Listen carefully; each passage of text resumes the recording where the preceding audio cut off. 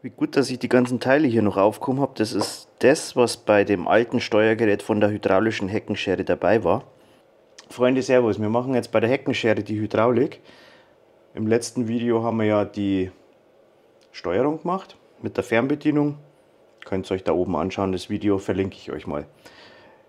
Jetzt geht es um das Steuergerät. Diese Durchflussbegrenzer, beziehungsweise das letzte Mal habe ich den Begriff nicht gewusst. Drosseln heißen es natürlich, Drosseln. Das war das Originalsteuergerät. Das, was bei der Heckenschere dabei war, die waren hier drin. Und da kann man dann die Hydraulikschläuche anschließen natürlich. Also so Adapter, die muss ich noch rausschrauben, die beiden. Ehrlich gesagt weiß ich nicht einmal, wie ich beginnen soll mit dem Ganzen. Wahrscheinlich erst einmal die ganzen Stöpsel hier raus tun. Das ist jetzt zumindest hier mal der Anschluss für den Motor, das weiß ich. Und der Motor, und da steht jetzt die Kamera drauf. Der Motoranschluss ist das hier. Und dann werden wir das hier mal hier anschließen. Das heißt, einfach mal schnell. Ja, ja, bei mir immer alles schnell, gell. Und schon habe ich das erste Problem. Passt nicht. Okay. Dann hat sie das heute schon wieder erledigt, dass ich die jetzt anschließe. Da brauchen wir andere, okay. Dann müssen wir hier mal einen runterschrauben, dass ich die Größe bestimmen kann. Das sind dieselben. Das sind dieselben, bloß mit auf einer Seite mit einer anderen Größe.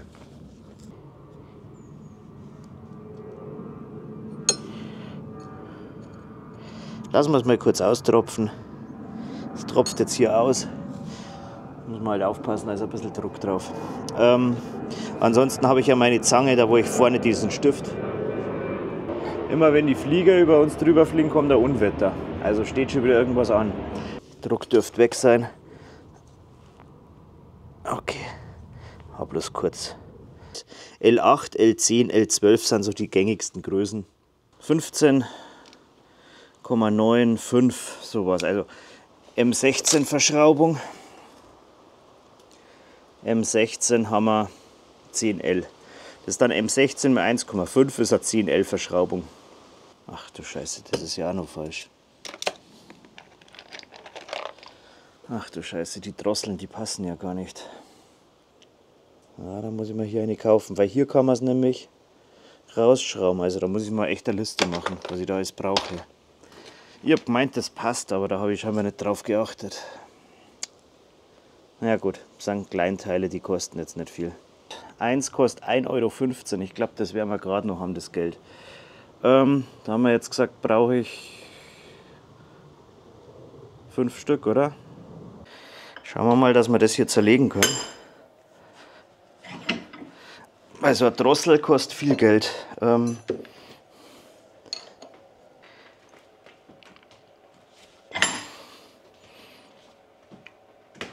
Boah. Mal einen Hammer nehmen hier.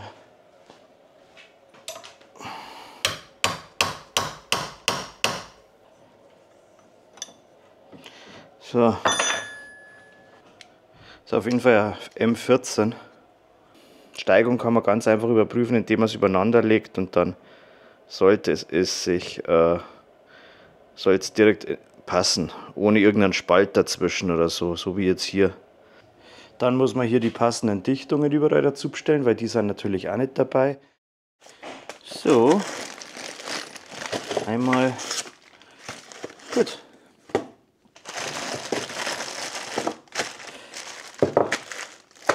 Das brauchen wir alles.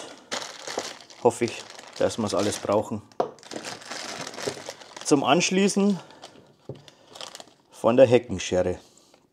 Also ich hoffe, dass alles passt. Ich hoffe, dass ich alles richtig bestellt habe. Das Bestimmen war jetzt echt nicht einfach. Ähm, wie habe ich die bestimmt? Naja, da steht der Typ drauf, bei denen das Problem ist, dass die in Zollausführung gibt und in metrischer Ausführung. Das kann man anhand von dem Code, dann von dem Typencode rauslesen. In meinem Fall war es Gott sei Dank metrisch. Das heißt, hier habe ich, ja, weiß, weiß, Zoll, so Zoll auch reinpasst und metrisch passt auch rein. Jetzt habe ich halt Zoll bestellt, wie schon gesagt, und dann passt es. L weiß ich nicht mehr, M14 oder was das war. Ähm, bei denen war es der Anschluss L12, da habe ich noch die Schläuche bestellt, die stehen noch aus. Hier steht M14 drauf. Da steht zum Beispiel 3 Achtel Zoll. 3 Achtel Zoll ist der Anschluss vom Steuergerät für die 8 Anschlüsse, also für die vier Kanäle. Da steht, das ist der 1,5 Zoll auf Schlauch. Halb Zoll auf Schlauch.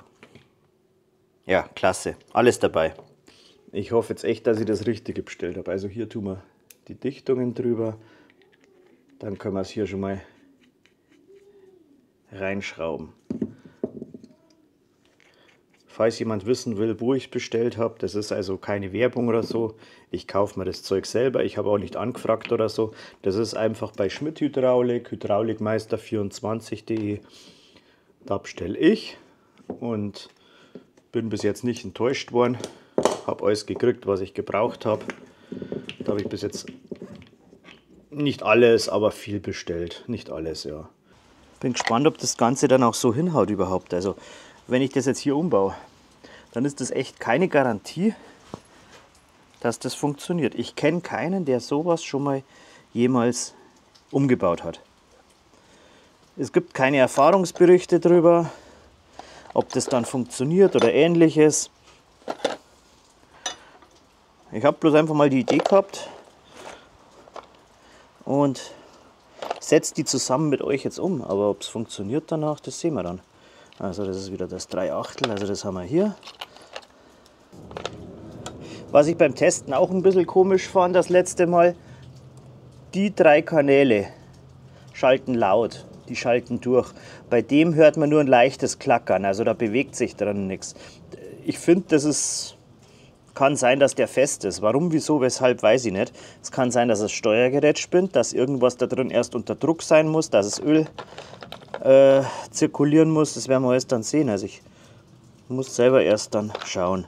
Ich will jetzt da jetzt äh, groß Umtausch, Retoure machen oder so weiter.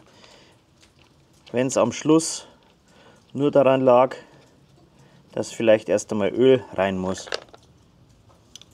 Deswegen möchte ich jetzt da keinen Aufriss erst einmal machen. Das können wir danach immer noch. Ist zwar schade, dass man dann...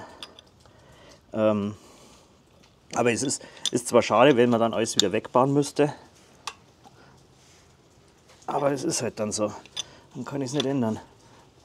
Ich denke mal, dass das jetzt wurscht ist, auf welcher Seite wir das da rein tun, weil wir es ja individuell anschließen können. Okay, da machen wir die unten hin. Hier ist es so, dass es, ja, wobei passen wird es, Hat so Vorteile, kann man es nochmal drehen. Können es auch da unten reinschrauben. So, jetzt habe ich Heckenschere Strom angeschlossen. Jetzt muss ich schauen, wo ich was drauflege. Ähm, am Motor ist jetzt kein Problem. Motor habe ich vor mir. Die anderen Hydraulikzylinder muss ich schauen. Mit was fangen wir an? Also up, down, was könnte jetzt up, down sein? Also up, down würde ich jetzt, würde ich jetzt mal sagen, das machen wir den Arm da oben. Den machen wir als up und down. Das ist bei mir das hier. Also es ist folgendermaßen, die zwei Anschlüsse vom Hydraulikzylinder, wenn der belastet wird, drückt den Kolben hier rein. Wird der hier unter Druck belastet, drückt den Kolben hier raus. Hier ist die Stange drin, hier ist ungefähr der Kolben, sage ich mal. Hier jetzt halt im eingefahrenen Zustand. Das ist ein Ring. Wenn ich hier Druck drauf gebe, drückt es den raus und das Öl geht über den zurück. Also ist das jetzt hier sozusagen der Ausfahren und das da zurückfahren. Und wenn der ausgefahren ist, kann ich es über den wieder zurückdrücken. Gut, der hier ist da raus.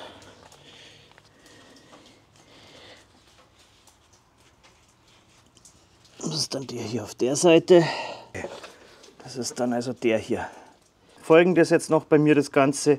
Ich lasse die Schläuche so lang, wie sie sind. Also ich kaufe jetzt da keine kürzeren Schläuche, bloß dass ich jetzt hier fünf halben Meter oder was einspare. Okay, also das ist der erste, den wir jetzt angeschlossen haben. Also ich lasse die Schläuche so lang, auch wenn sie jetzt hier vorne drüber schauen. Es macht keinen Sinn, wenn ich es jetzt hier mit Winkel versehe für 20 cm Ersparnis von mir aus oder einen halben Meter Ersparnis. Die Schläuche sind teuer. Wenn sie mal kaputt sind, werde ich es kürzer machen, wenn das Ganze funktioniert. Für mich ist das jetzt erst einmal ein Test. Funktioniert es überhaupt?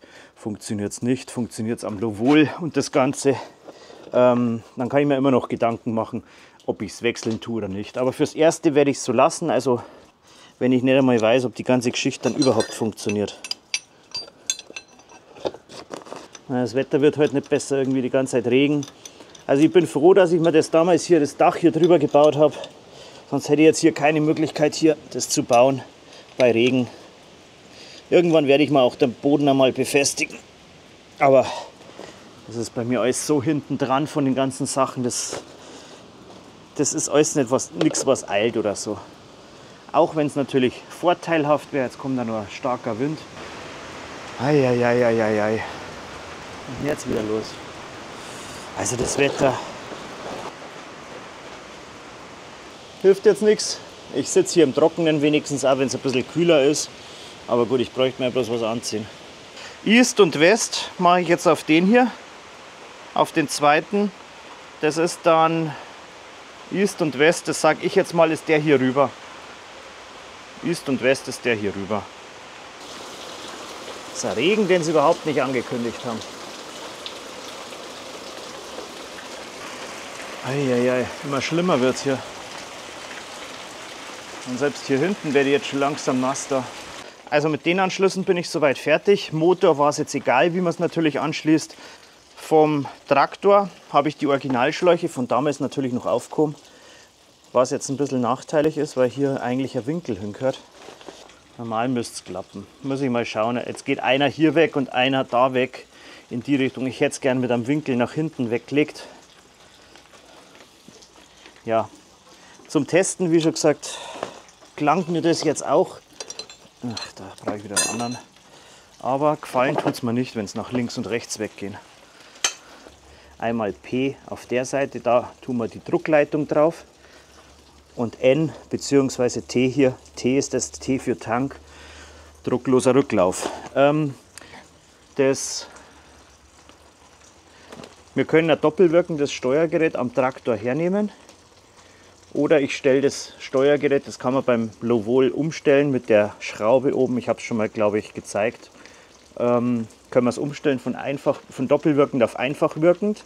Bei Umstellen von doppelwirkend auf einfach wirkend ist dann so, dass der obere Anschluss der drucklose Rücklauf ist und der untere der Druckanschluss. Das ist für ja, wenn du einen Kipper hochheben willst oder so, ist einfach wirkend gut.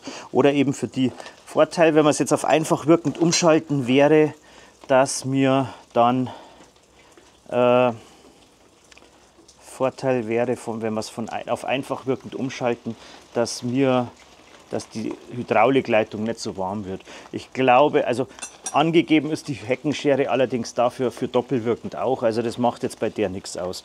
Müsste ich mal probieren, dann, wie es funktioniert, wenn wir das umstellen, ob das dann irgendwelche Auswirkungen hat. Wenn es keine Auswirkungen hat, dann lasse ich es doppelwirkend. Und wenn es Auswirkungen hätte, dass es irgendwie zu heiß wird, kann ich es einfach, auf einfach wirkend mit drucklosen Rücklauf umstellen bei mir. So, jetzt brauchen wir bloß noch das Wetter, dann könnten wir es testen. So, gestern hat es geregnet. 1, 2, 3, hört sie mich? Ja. Ähm, plus. Jetzt habe ich nachgeschaut. Ich muss den Schalter ja innen fixieren. Zeige ich euch gleich. Ähm, das heißt, ich muss. Das heißt, ich muss ähm, den Zulauf auf Minus. Das sind geile Anschlüsse.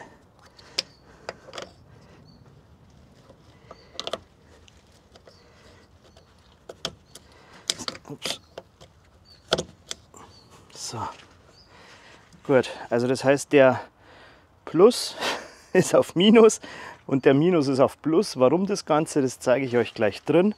Das Kabel an Stecker habe ich vorhin noch hingemacht, habe ich jetzt hier angeschlossen natürlich. Ich teste das Ganze jetzt hinten an der, Hecken, äh, hinten an der Heckhydraulik, beziehungsweise, ähm, ihr seht es jetzt gleich, ist jetzt nur für einen Test aufgebaut. Das Ganze kommt ja, wie schon gesagt, dann an Frontlader hin.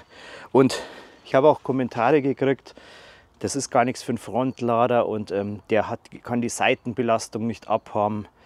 Ja, Frontlader ist grundsätzlich nicht für Seitenbelastung gemacht.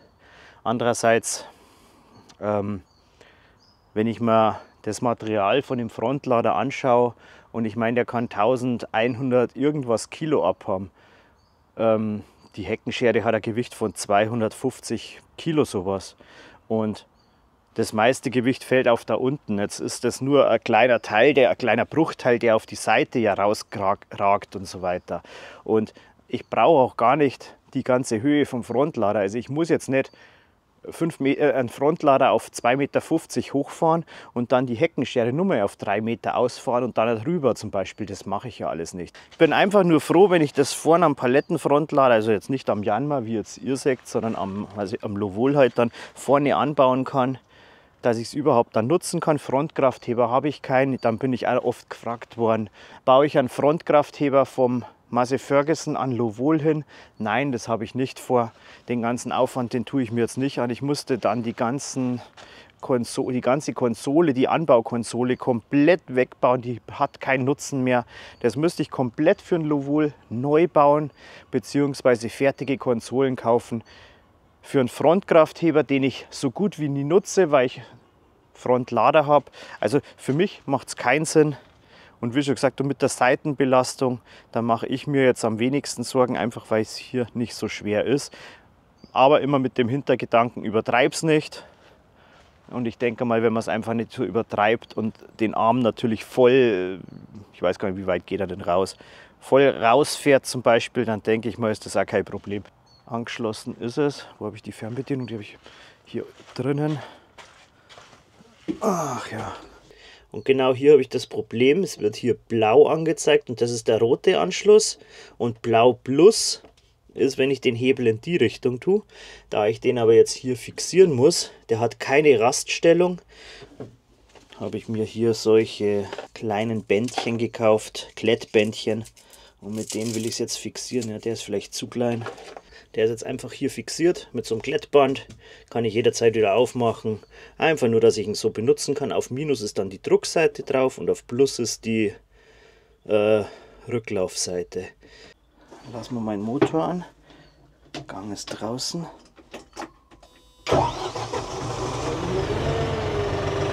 Dann brauchen wir Strom hinten drauf. Das habe ich auf den dritten Schalter gelegt. Der zweite ist für vorne, der erste ist die Kamera. Der dritte ist für hinten, der vierte ist Reserve. Fernbedienung. Okay, dann schalten wir mal ein. Schalten wir gleich mal den Motor ein.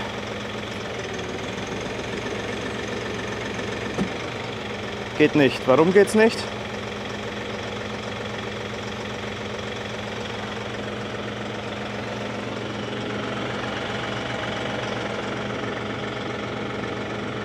Geht das.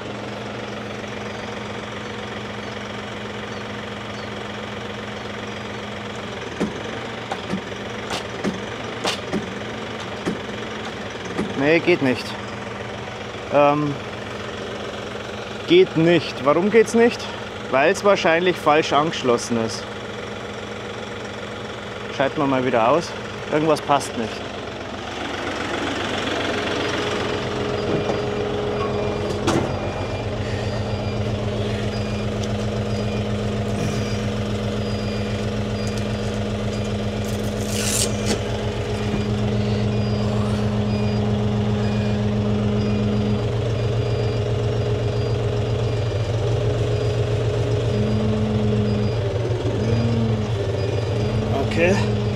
Also ich habe jetzt mal Heckenschere eingeschalten, das erkennt ihr an dem roten Licht da unten, nur dass der Motor läuft.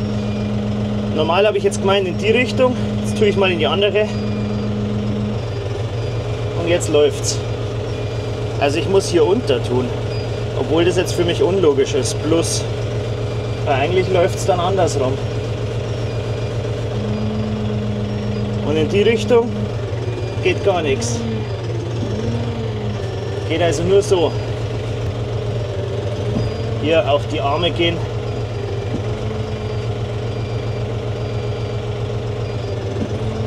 Auch der hier.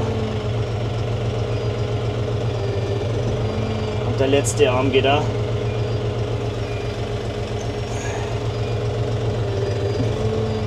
Das ist der. Ähm ja.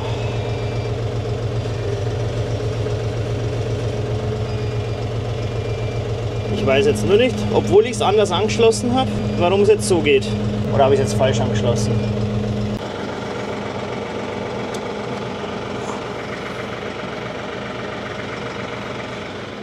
So, ich habe es jetzt mal umgedreht. Also jetzt ist Plus auf Plus und Minus auf Minus. Mal schauen, ob es jetzt geht.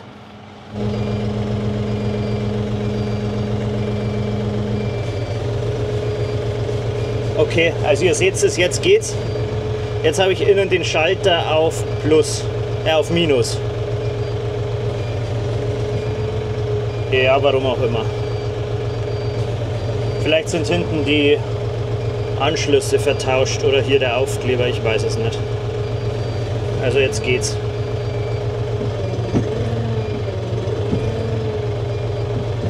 Wunderbar. Hier wackelt es mir nur ein bisschen zu stark.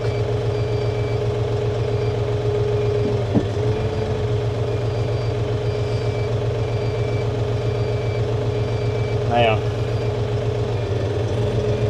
Der Rest geht auch. Okay, also alles in allem funktioniert. Also das ist natürlich jetzt schon super.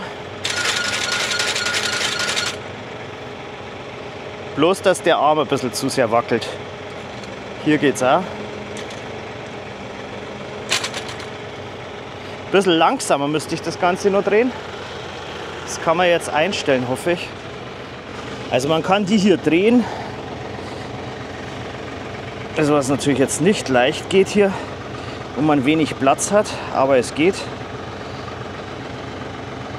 Schauen wir mal, ob es jetzt besser ist. Ja, viel besser. So muss ich mal die anderen halt auch anpassen. Kann sein, dass ich noch eins dazu kaufen muss. So, schauen wir nochmal. Jawohl. Seht ihr es hier? So geht's jetzt, so langsam geht's jetzt. Also, da brauche ich noch eins. Jetzt zeige ich es euch beim Hochfahren. Es funktioniert so. Schön langsam. Bloß ruckartig schnell zurück. Also ich brauche dann für ein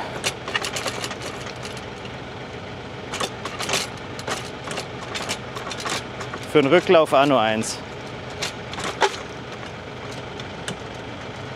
Okay. Das ist mal noch etwas, weil hoch geht es jetzt langsam.